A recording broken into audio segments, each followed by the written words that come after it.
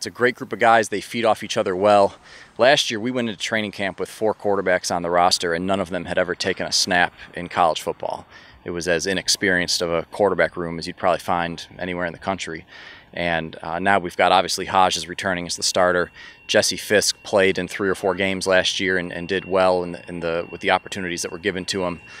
Uh, we signed a young, talented freshman, Wiley Hartley, out of Atlanta, who's going to be a really, really good player already. And just uh, in the couple weeks he's been here, uh, going through practices, we can tell that the sky's the limit for him. Uh, Dylan Ernie does a really good job. He's a, a, third year player in the program from the Charlotte area. He throws a great football. Uh, he's a talented, smart kid. And then Hayden Smith uh, is in his second year here in the program uh, and is, is, doing a really good job as a young guy of just learning and growing within the offense and, and learning the responsibilities of the quarterback position. So we just feel a lot more comfortable right now uh, with really all five of those guys um, from where we were a year ago.